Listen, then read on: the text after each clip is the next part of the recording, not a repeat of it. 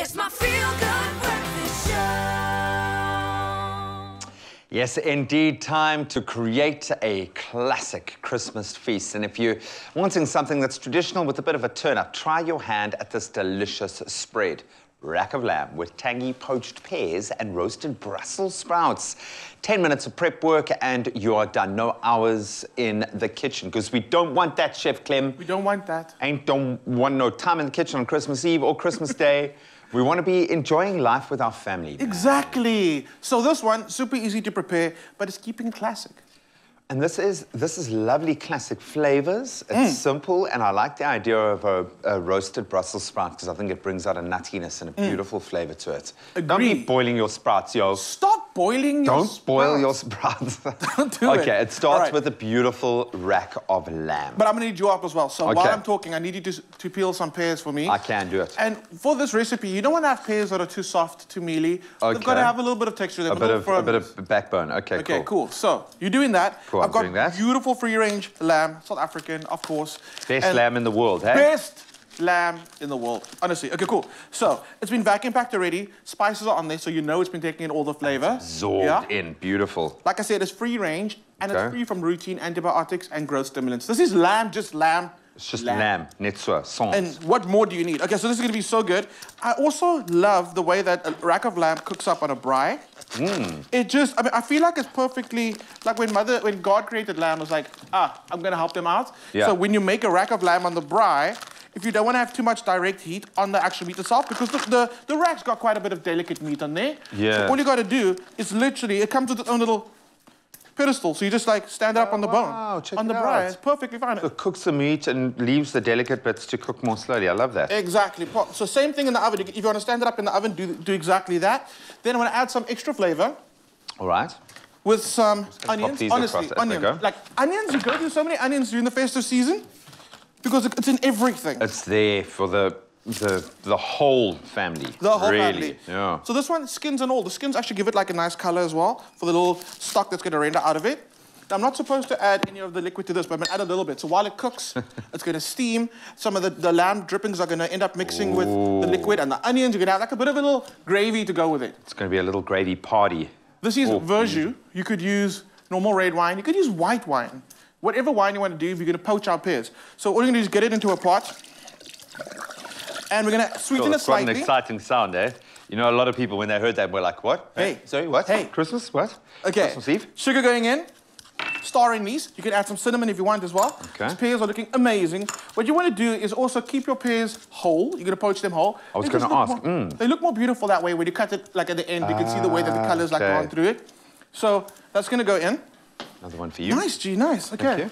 So, we're gonna make a cartouche. When was the last time you made a cartouche? Oh, man? you know, I was I was thinking about making a cartouche last week, but I just didn't have the time. You didn't have the time. I I'm didn't have the help time, you. please. I'm gonna help you. Okay, so if you don't have, oh, this recipe, you gotta slowly cook your pears, but also reduce the liquid that's in there. So you can't put a lid on it because that's just gonna trap in all that moisture Uh-huh. Into the cartouche. Ah. Okay, a piece of baking paper, and it's a square or square-ish. It doesn't really matter. You can make a what would seem like a type of triangle. Okay, it would seem. Would it would seem, seem because- that, Yeah, just get as close to a triangle shape as possible. And then just keep on, find your little middle point and just keep on folding, okay? okay. This is, guys, this is like the, what they teach you in like chef school in the first week of being there. Really? Yeah. This, this is when you know. Okay. This is when you know. So, you're gonna take your little piece of paper, just hold it over the pot so you get an idea of the size that you're gonna need and exactly where it meets the inside. We're gonna snip it there. And we've got this perfect little round Oh, piece of paper. That's gonna go over our pot and then act like a lid, but not too much that it's- that it doesn't allow some of the It moisture to escape. some of the moisture to escape. I love that. Make a we, we made ourselves a cartouche, Make man. yourself a cartouche. Okay, on the heat. Don't fiddle with it. Let it just go.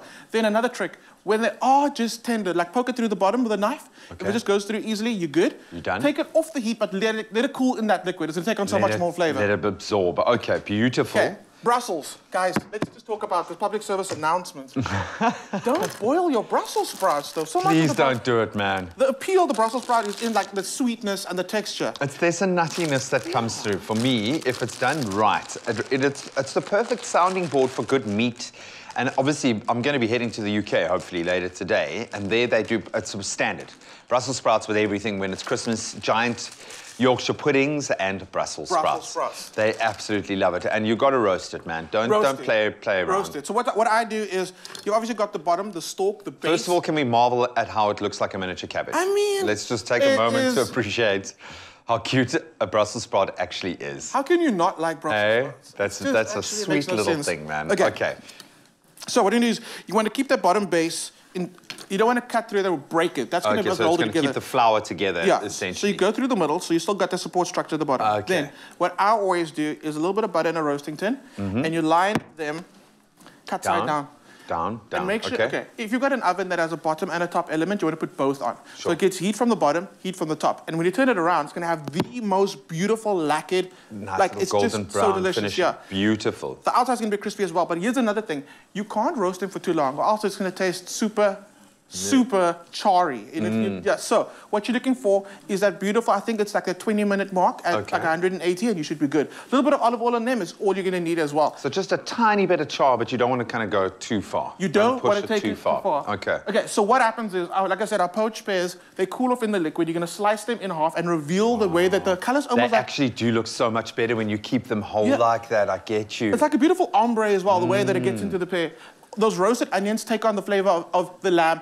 And of that sauce, that's gonna be amazing. And then you got the beautiful pink lamb. Here's another thing: if you're worried about doing too much on the day, you can roast your lamb to the point of being like medium. Uh-huh. Let it cool on the counter before it goes into the fridge. On the day, back, yeah, or take it outside of the braai. You get that last little bit of flavor. Done. Are you doing Christmas on the braai, Brew? Because I have a feeling that that because you've been speaking a lot about the. I'm are you, doing- Are you getting amped for My preparation is in the kitchen today, and tomorrow everything else is going to be finished outside on the braai. Oh, good man. Get outside. It's going to be a beautiful day. A little overcast, but I mean, hey, it's going to be perfect weather. So get outside this festive season. What are you making for your festive Okay, plate? okay. Gotta go gammon. So we made a beautiful chipotle pineapple gammon on the show. Mm, we did. Ah, that's already, my gammon's are already cooking. Like I left this Boom. morning, cooking. Again, as much as you can do today, do it. Trifle, tongue. To the people out there that don't like tongue, someone's making it wrong for you. I love tongue. Also doing a smoked tongue. Getting creative, like switching up the recipes. Obviously, like I said, peppermint tart has got to be there. You got to have your trifle. Got That's to. there.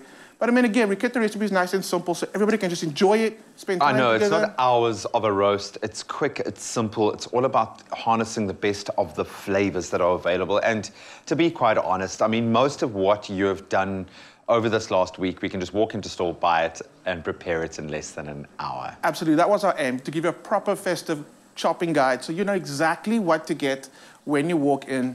And keep it simple. Man, I'm just imagining the smells in uh, Chef Clem's house right now. If you want to recreate this festive feast, this beautiful poached pear rack of lamb, you can go to woolworths.co.za and get all of the, in fact, a lot of culinary inspiration. Beautiful. That's a nice side of meat, eh? That's a nice.